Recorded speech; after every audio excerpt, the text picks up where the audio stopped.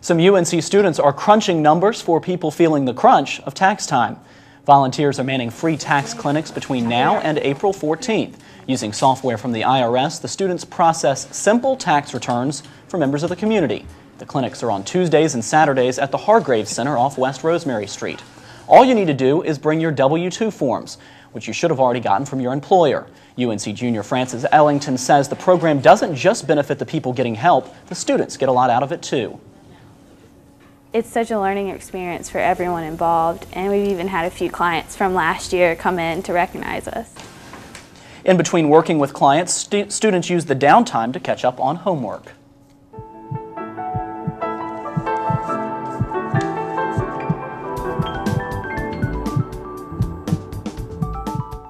You know that old rhyme that says little girls are made of sugar and spice? Well, it turns out that might not be true. A new study shows women are germier than men because of makeup. Lip gloss spreads bacteria from the fingers to the mouth, trapping bacteria on the lips. Hand lotion is another culprit, transferring and trapping those nasty germs.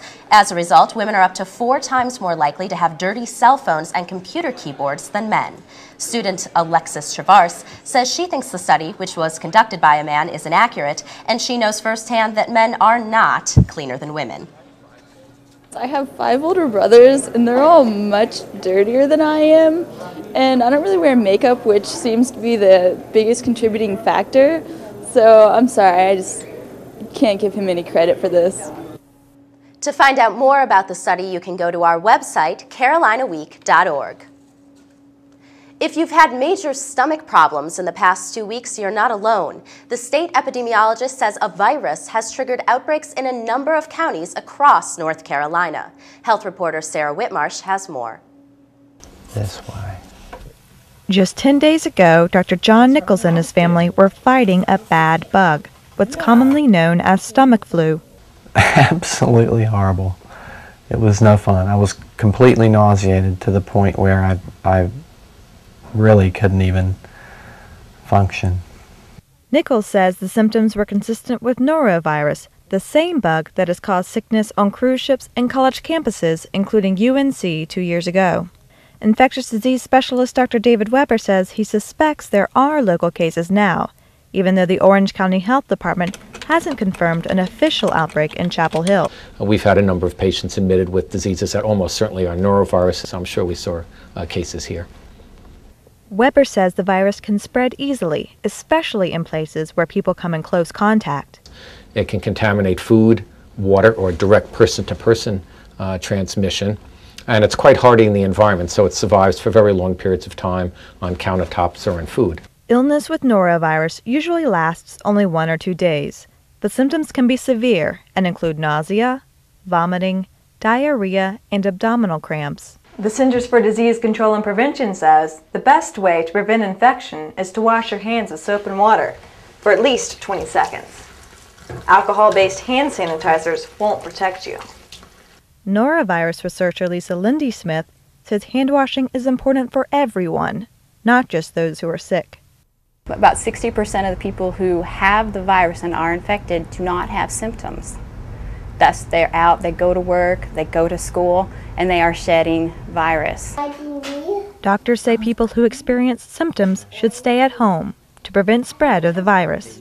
Now the Nichols family is back to enjoying one another rather than sharing a virus. In Chapel Hill, I'm Sarah Whitmarsh, Carolina Week.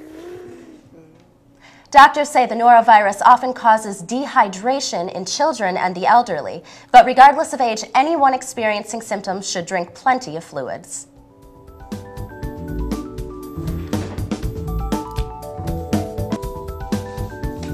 A North Carolina man has helped open doors of opportunity for others throughout his career. In 1959, Henry Frye was the first black student to receive a degree from UNC's law school. Frye went on to become the first black to serve on the North Carolina Supreme Court and later became the first black Chief Justice.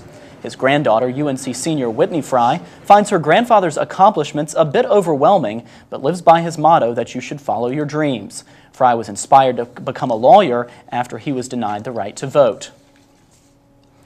To wrap up Black History Month, we're taking a look at someone who's had a big impact on Chapel Hill and our state. Former Chapel Hill Mayor Howard Nathaniel Lee was born in 1934. He came to Chapel Hill in 1964 when he enrolled to earn his master's in UNC School of Social Work. He was elected president of the Student Association of Social Work twice. In 1969, he made history, becoming Chapel Hill's first black mayor. In 1990, he was elected to the North Carolina State Senate, where he served for 13 years, making major changes in education legislation. Lee still lives in Chapel Hill and serves as the chairman of the State Board, Board of Education. And we're joined now by weathercaster Jonathan O.